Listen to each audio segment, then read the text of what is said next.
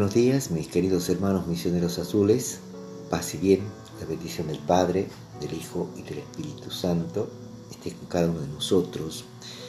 Hoy la Iglesia celebra la solemnidad de San José y nos propone, eh, nos regala la dicha de poder compartir el Evangelio según San Mateo, capítulo 1, versículo 16, versículo del 18 al 21 y versículo 24. Pedimos la intercesión de María Santísima, Madre Dios y Madre nuestra, de San José, nuestro custodio, protector y patrono, de los santos arcángeles, San Miguel, San Gabriel, San Rafael, de los santos ángeles custodios. Pedimos al Espíritu Santo que nos ilumine, que abra nuestro entendimiento para que podamos comprender y escuchar la palabra del Señor nos habla el Señor. Habla Señor que tus misioneros azules escuchan. Jacob fue padre de José, el esposo de María, de la cual nació Jesús, que es llamado Cristo. Este fue el origen de Jesucristo. María, su madre, estaba comprometida con José y cuando todavía no habían vivido juntos, concibió un hijo por obra del Espíritu Santo. José, su esposo, que era un hombre justo y no quería denunciarla públicamente, resolvió abandonarla en secreto.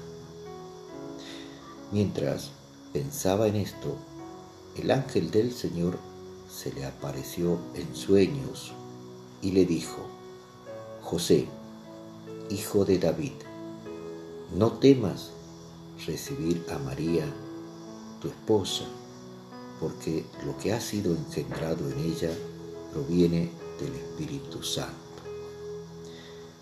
Ella dará a luz un hijo a quien pondrás el nombre de Jesús, porque él salvará a su pueblo de todos sus pecados.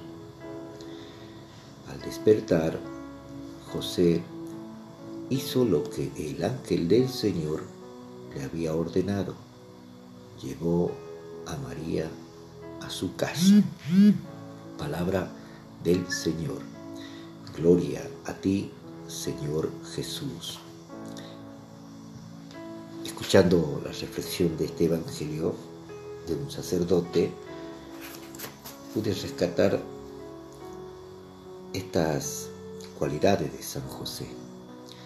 San José es un, hombre que tiene grandeza de ánimo, es un servidor de un gran proyecto de la vida.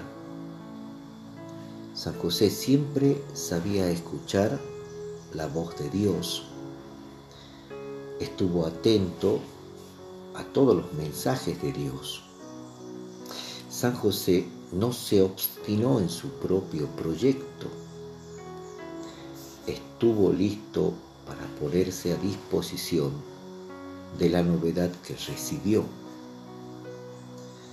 San José supo encontrarse consigo mismo.